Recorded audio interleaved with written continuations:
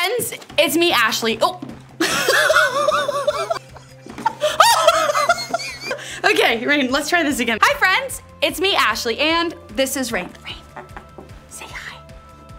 If you're wondering why Rain is here with me, it's because as you already know, most middle schoolers love animals, puppies, they just make everything better, right? If you purchase our media package, you'll be seeing a lot more of this beauty in our latest series, Moving On. So what's this series all about? Well, one of the things that's most difficult for all of us is forgiveness, right? Sure, forgiving and moving on might seem like a simple thing, but for most of us, it's just not. That's probably true for you and me, and that's definitely true for middle schoolers. We know forgiveness takes more than a moment, but we also know the time it takes to get there is worth it. And that's why we're gonna spend three weeks helping your students discover the way they can truly learn to forgive and move on, not just for other people, but ultimately for themselves. We're gonna spend some time talking through what forgiveness is, what forgiveness is not, and how choosing to let it go and move on can change their lives, their relationships, and even their faith for the better. So whether they're working to forgive someone else, trying to figure out how they can forgive themselves, or struggling to forgive some really deep hurts that may take a really long time